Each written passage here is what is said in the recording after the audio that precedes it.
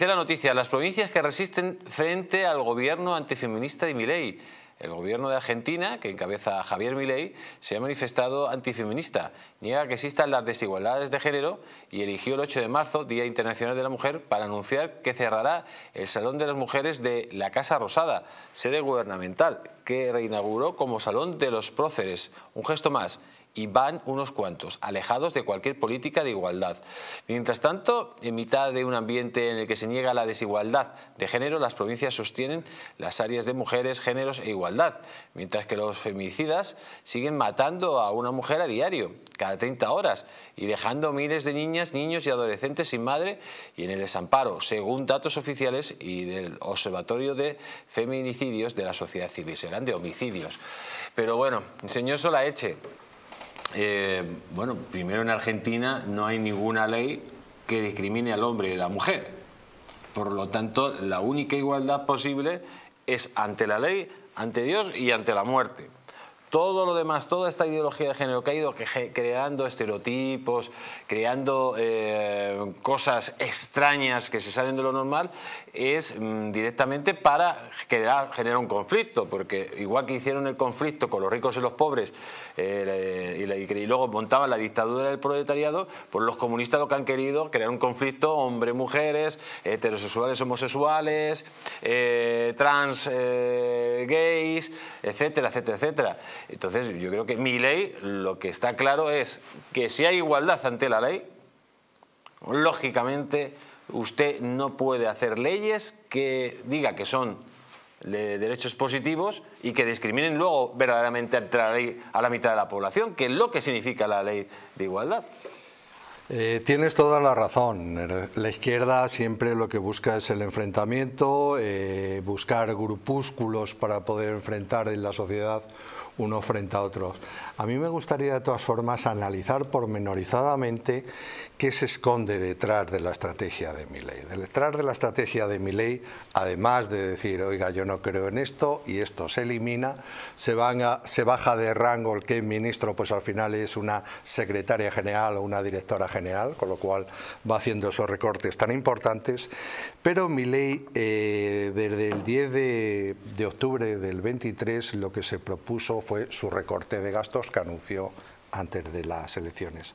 Mi ley presentó la ley Omnibus y no olvidemos que muchos gobernadores que ya habían sido elegidos se pusieron, después de sus elecciones, eh, recordarás que en uno de tus programas que hicimos eh, con el tema de mi ley, vimos que algunos se pusieron tibios, es decir, algunos gobernadores no llegaron a creer en la victoria de mi ley.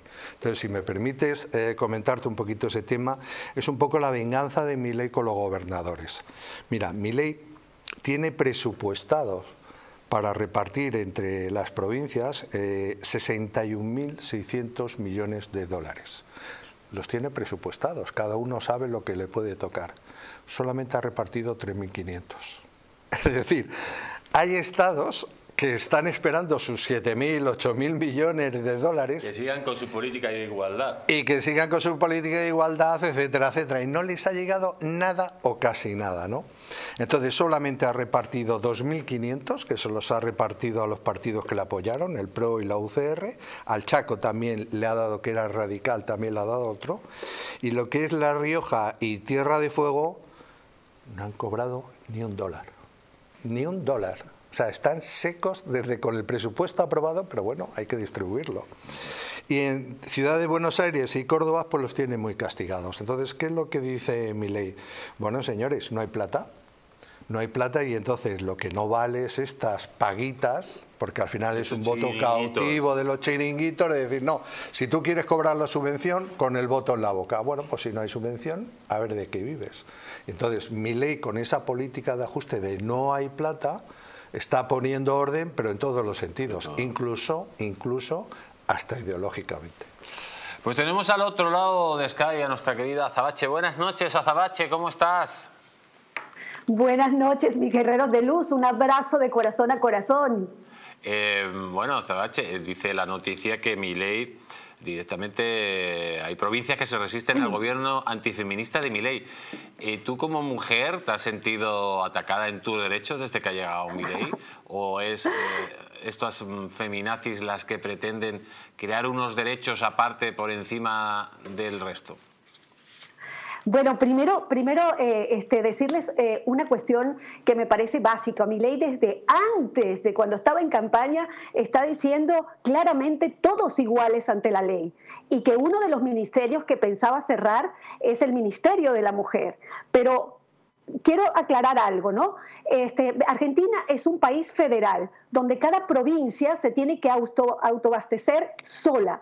El tema con los gobernadores es que ellos tienen que recortar eh, sus gastos, tienen que recortar un punto del PBI y la, y la nación, el Estado, mi ley, está recortando 15 puntos del PBI. Ese es el gran tema y el, gran conflicto que los gobernadores siempre estaban eh, como muy, muy frescos, ¿no? Recibiendo dinero del Estado, de la nuestra, de los impuestos de nosotros y hacían cualquier cosa en, la, gobernación. Quería aclarar esto para sumar a lo que estaban diciendo, pero también decir que la subsecretaria de Protección contra la Violencia de Género que reemplaza al Ministerio de las Mujeres y Género y Diversidad pertenece al Ministerio de Capital Humano.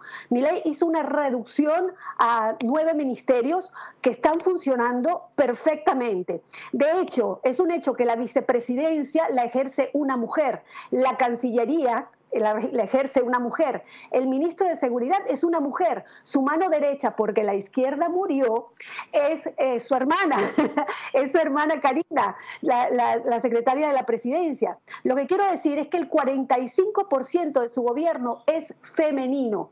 Es el gobierno que ha tenido más mujeres integradas a su gabinete y subrayo, y esto lo quiero subrayar en grande, por sus capacidades preparación y experiencia, no por el cupo femenino ni por sus genitales.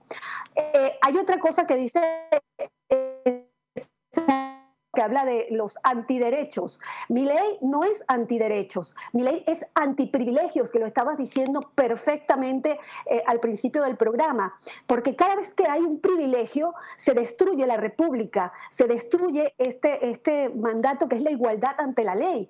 Entonces, si algo está contra, eh, eh, que es contra mi ley, ejerce con mucha fuerza, es los privilegios, antiprivilegios totalmente, no antiderechos. El Ministerio de la Mujer funcionó como caja negra de dinero del Estado para, déjeme decirle, adoctrinamiento, persecución y para mantener la militancia las mujeres, hombres, niños pueden ser víctimas igual que la mujer. Entonces no, es, no está bien que se le dé preferencia y privilegio solo a la mujer. El, primero que levantó la bandera eh, feminista fue un liberal, y eso no sé si lo saben, pero eso fue la primera ola. La tercera ola se ha tergiversado. Este socialismo del siglo XXI, unido con el globalismo, ha hecho desastres y lo que ha sembrado es odio. Odian al hombre nada más, y perdón, este, yo no sé si se puede decir, pero yo lo voy a decir porque es, es, su genital, odian al hombre por tener pene y no podemos meter a todos en el mismo saco. Ahora, quiero hablar de los hechos. El presupuesto que se les entregaba era de casi 4 billones de pesos. Estoy hablando de casi 4 millones 700 mil dólares. ¿En qué se gastaban? Bueno, 1.004 empleados tenía el Ministerio de la Mujer, entre ellos 211 con rango de asesor. Las secretarías, las secretarias de ese ministerio ganaban millonadas, pero además, eh, oigan esto, hacían planes insólitos como por ejemplo el plan menstruar el, banco rojo. Solo se manifiestan a favor de la izquierda cuando les conviene. Y aquí quiero hacer un punto y aparte, porque aquí este, hay un caso muy relevante donde dos mujeres mataron un niño por esta cuestión de este odio sembrado por esta ideología nefasta y el Ministerio de la Mujer nunca se, se pusieron a manifestar, ni a señalar, ni nada por el estilo. Y como eso hay un montón de casos igual.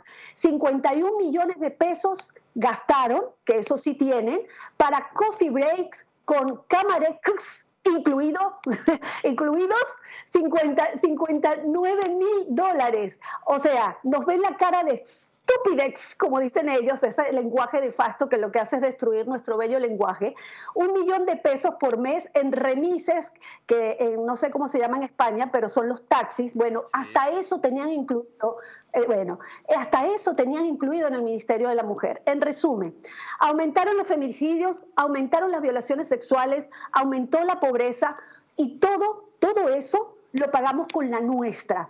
O sea, pura propaganda política del socialismo del siglo XXI y del globalismo. Esto tiene que finalizar y ojalá que esto sea un ejemplo para el mundo. Nosotros todos debemos ser igual ante la ley, no importa la autopercepción, no importa eh, eh, de qué van tus genitales, todos iguales ante la ley, como bien lo decías. Eh, bueno, yo creo que has dado una, una magnífica explicación de de lo que pretende mi ley, que es básicamente lo que has dicho, igualdad ante la ley, ante Dios y ante la muerte. Es que no puede haber más igualdades. O sea, y eso es porque nadie es igual a, nadie, por mucho que intenten eh, el socialismo del siglo XXI, pues igualarlos que no lo igualan, lo que hacen es tener privilegios, como tú has dicho, con esos chiringuitos. Eh, quiero preguntarte, porque mi ley dice que la instalación de una base en Estados Unidos, en, Argentina, eh, para recuperar las marinas, ahí lo tenéis, mi ley dice que la instalación de una base de, Estados Unidos en Ushuaia es el primer paso para recuperar las Malvinas. ¿Crees que se pueden recuperar las Malvinas con esta nueva estrategia de mi ley?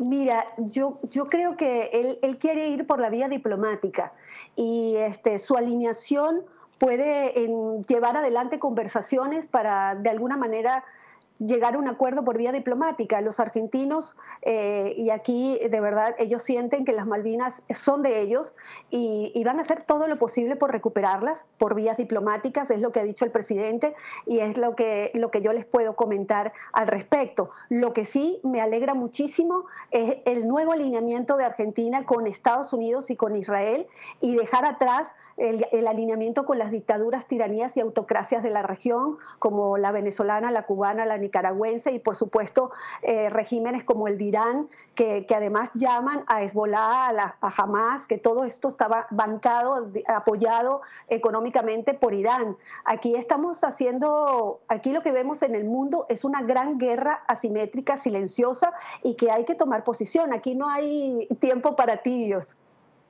Pues Azabache, como siempre, muchísimas gracias por estar con nosotros y todo el mundo está esperando que te despidas con ese particular grito de guerra. Claro que sí, claro que sí. Este, eh, bueno, un abrazo de corazón a corazón. Si pueden, síganme mis redes sociales, arroba sabachonline. Y, saben una cosa que quería, si me permites, decirles una cosita pequeña. Em, mire, yo, yo soy una persona que tuvo que emigrar del país, de mi país, por el socialismo del siglo XXI. Y siempre como mujer tuve la responsabilidad de no poder o sea, de decidir no tener hijos por la condición de migrante y que tenía que trabajar y mantener a mi mami jubilada y un montón de cosas. Y, y yo como mujer decidí no tener hijos. Es insólito que las feministas y, este, y esta cuestión globalista te exija te exija de tu bolsillo pagar abortos. Como, cosas como esas se deben arreglar en el mundo porque primero es la vida, primero es la vida, eh, vida, libertad, eh, propiedad privada, y, esto tenemos que reflexionarnos realmente. Yo te, agradezco muchísimo dejarme este, este espacio para decir esto, porque es muy importante que ya no nos dejemos llevar por ideologías y cosas que nos quieren imponer, sino que pensemos con la razón, porque la libertad es todo, sin libertad no es nada. ¡Viva la libertad, carajo! ¡Ole! Pues viva la libertad, Un fuerte abrazo, cuídate mucho.